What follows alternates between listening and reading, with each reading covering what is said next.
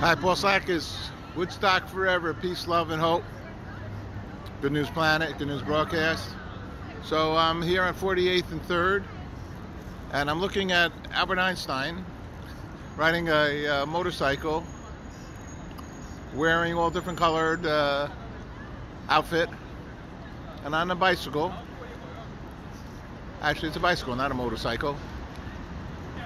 He has a, uh, a plate that says to me, peace equals love or the heart squared. That's the bottom line as far as I see it as well. But look at this great, great uh, piece of artwork. Could that have actually been drawn on there by this guy, Kobra? Literally on the brick?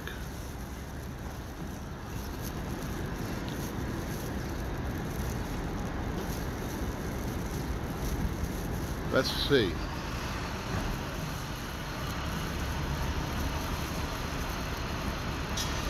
Wow, it's a real installation. Now what is that over there? Is that a camera? Is that a computer? Uh, that looks like the flag of Brazil. There's an environmentalist over here for us. Who's collecting those bottles and returning those bottles and compacting those bottles are environmentalists. Let's go back a little bit. Kobra. This is pretty wild. I'll keep walking back. But I'm going to learn more about this. Hey Hank. Hey Ben. This is pretty darn cool if you ask me. Well, we know New York is pretty darn cool. So, peace equals a heart or love squared. One time the New York Times wrote that uh, love is stronger than gravity.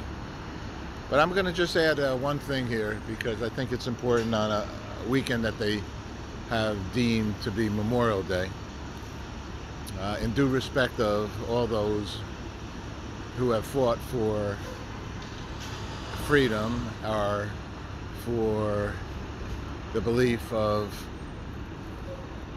and concern of safety around the world.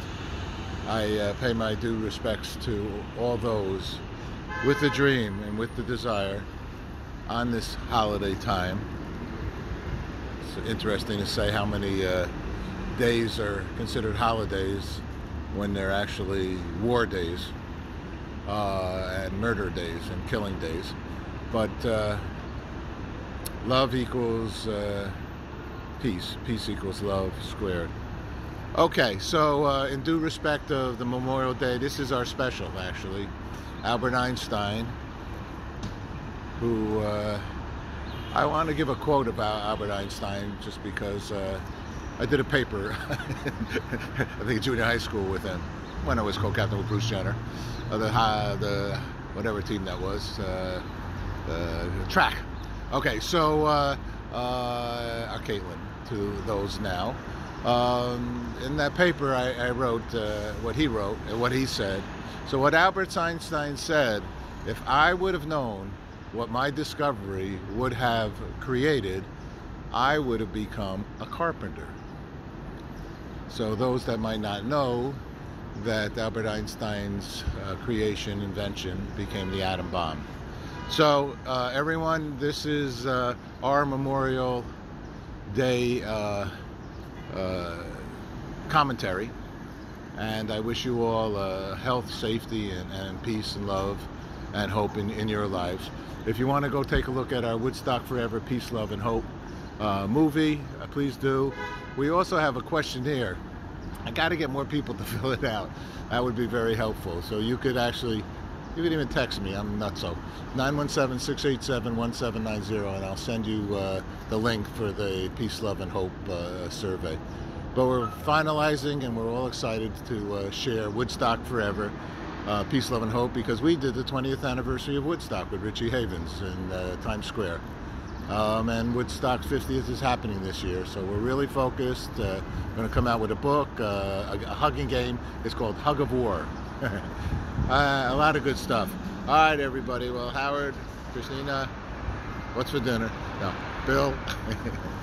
All right, everybody. I love you. Thank you. And uh, uh, I, I, the parting words from me is uh, enjoy every moment. Thank you.